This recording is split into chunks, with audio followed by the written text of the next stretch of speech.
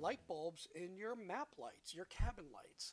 Um, these are usually with the incandescent, they have the yellow, dull look, and uh, most folk like to have the nice bright white LEDs. Now, there are two lenses here. They're kind of difficult to get out.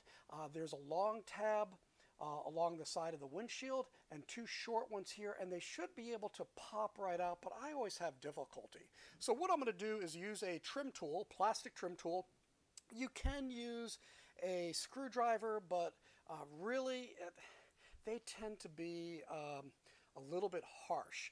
Now, just so that you know, there are two things here that I actually modified myself. I've got a switch that's supposed to control a USB port uh, on this side here, but in actuality, it's been turning my lights on and off. Um, as you can see, I actually already changed these to LED, but uh, I'm going to show you anyway. So if you pull down slightly, and you can probably do this without a trim tool uh, by just yanking really hard, but you get the trim tool underneath, and this comes out fairly easily.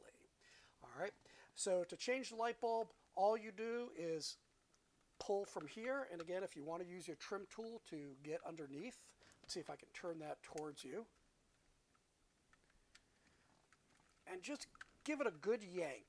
There you go. And you can see that it will come out. And actually what I wound up doing is unplugging my bulb and here it is right here.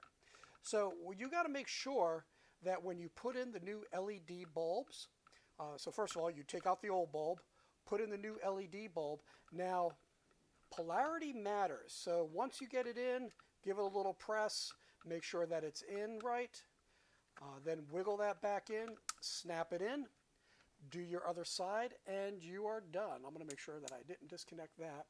Uh, what's happening here so that you know, I've got a switch uh, that's supposed to connect up to my USB plug, uh, but I've got to tap a different power line because it is uh, affecting uh, the lights going on.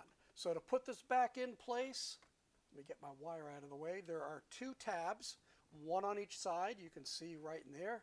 Match them up and snap and you're done. And on and on. And there you have LEDs in your car. And that's it. Hey, make it a great day. May the Lord richly bless you, and together we'll do some blood, sweat, and gear.